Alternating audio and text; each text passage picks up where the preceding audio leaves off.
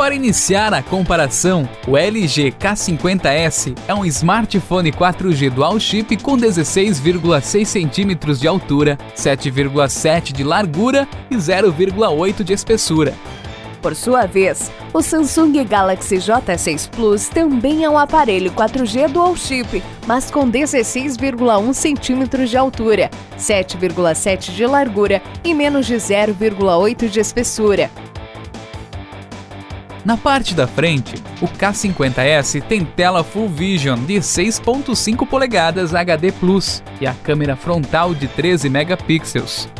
Já na parte da frente do J6 Plus temos display infinito de 6 polegadas HD e a câmera frontal de 8 megapixels com flash.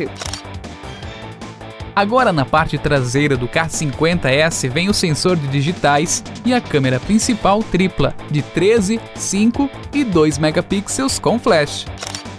Enquanto isso, a parte traseira do J6 Plus traz somente a câmera principal dupla de 13 e 5 megapixels com flash. Para rodar jogos e aplicativos, o K50S foi lançado com sistema Android 9 e processador octa-core, junto com 3 GB de memória RAM. Já o J6 Plus vem com Android 8.1 e processador quad-core ligado com 3 GB de RAM. Além da bateria 4000, o K50S tem armazenamento de 32 GB para salvar seus apps, fotos e vídeos, expansível até mais 2 TB do outro lado, o J6 Plus conta com bateria 3300 e com armazenamento de 32 GB, expansível até mais 512 GB.